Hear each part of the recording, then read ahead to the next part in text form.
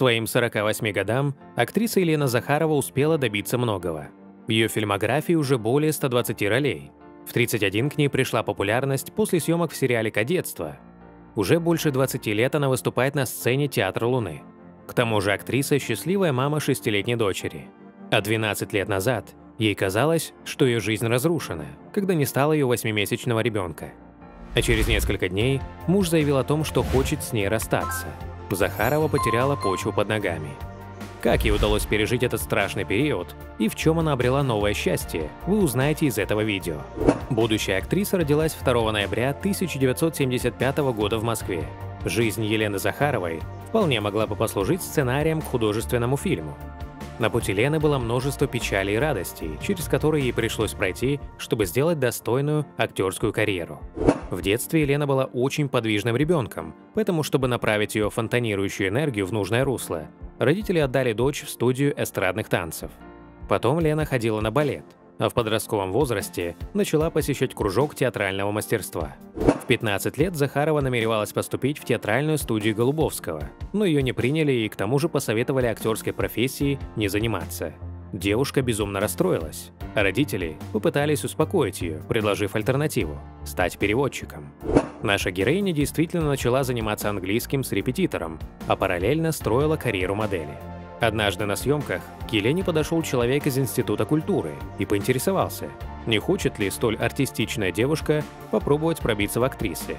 Старшеклассница пояснила, что профессионалы уже вынесли вердикт, но незнакомец убедил ее не сдаваться. Она прислушалась и пошла на подготовительные курсы в Авгик. Позднее Лена поступила в Щукинское училище, а сниматься в кино начала еще в студенчестве, засветившись в приюте комедианта в роли Вики. Получив диплом, актриса устроилась в Театр Луны, где снискала славу, сыграв в «Гамлете» Офелию.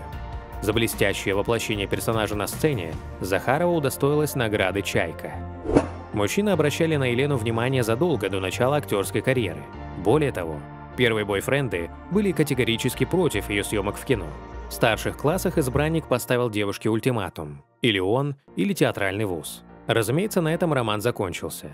Следующий возлюбленный по имени Егор после семи лет отношений заявил, что женится только если артистка бросит профессию, с чем Захарова также не согласилась.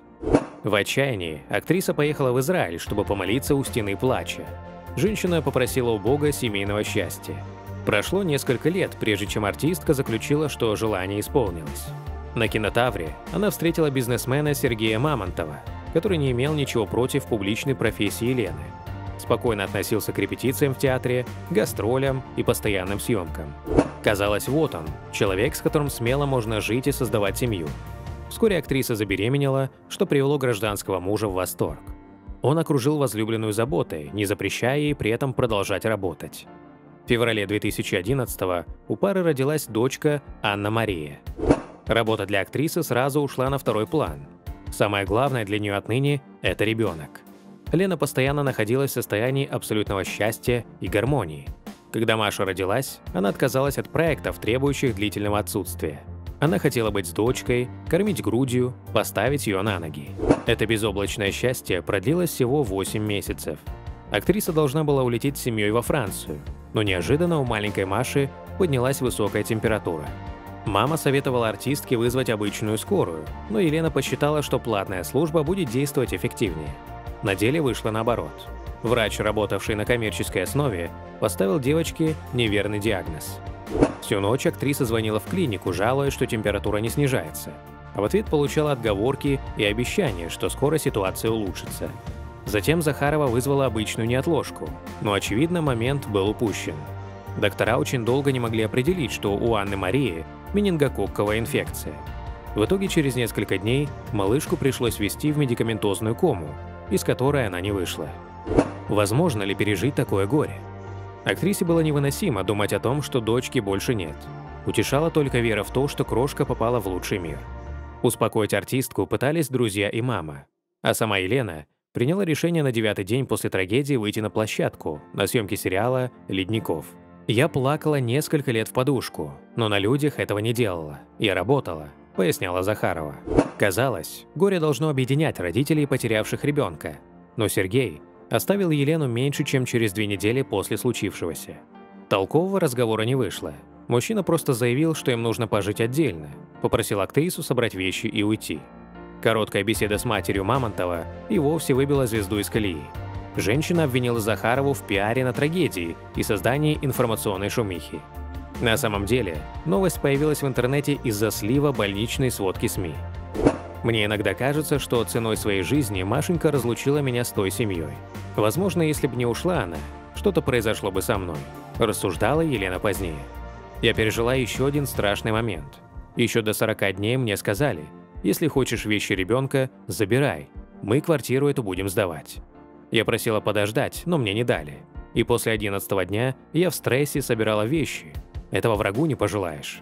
Захарова регулярно ходила в церковь, причащалась, беседовала с духовными наставниками. Актриса просила у Бога только об одном – о возможности снова стать матерью. Ее мольбы были услышаны в 2017 году. О беременности артистка узнала на гастролях со спектаклем «Мата Хари» на Кипре. Первые дни Елене не верилось в собственное счастье, и радостную новость она сообщила только самым близким подругам. К осени отрицать очевидное было бесполезно.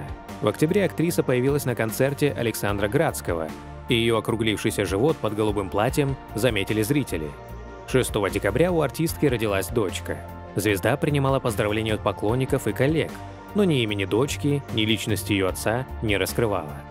После разрыва с Сергеем у меня случались отношения, очень разные. Кто-то хотел семью, а я понимала, что не мой человек, не лежит душа. Мне очень важно любить самой. Не обязательно быть богатым, но важно быть щедрым. И вот сейчас рядом со мной щедрый мужчина говорила Елена об отце второго ребенка. Появление на свет малышки в корне изменило жизнь Захаровой. Отныне ее расписание было полностью подчинено дочери. Актриса не отказывалась от светских мероприятий, однако стала гораздо избирательнее. Изредка Елена рассказывала о характере и вкусах наследницы. Так выяснилось, что Кружка очень любит музыку и танцует под любые песни. Актрисе предлагали баснословные гонорары за первые фотографии ребенка, Однако она твердо решила пока не представлять малышку публике официально. Впрочем, это не мешало артистке брать наследницу на спектакли, съемки и деловые встречи.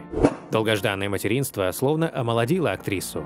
Она очень быстро вернулась к весу, который был до родов, отмечая, что похудела во время грудного вскармливания и благодаря физической активности. Почти все по хозяйству артистка делала самостоятельно, так что иногда не успевала даже поесть. Артистка не распространяется по поводу романов, но известно, что рядом с ней находится любимый мужчина. Главный вопрос, который интересует подписчиков актрисы – когда она выйдет замуж? Однако артистка не отвечает. Остается надеяться, что в скором времени Елена Захарова раскроет все карты и поделится новостями о личном счастье с окружающими.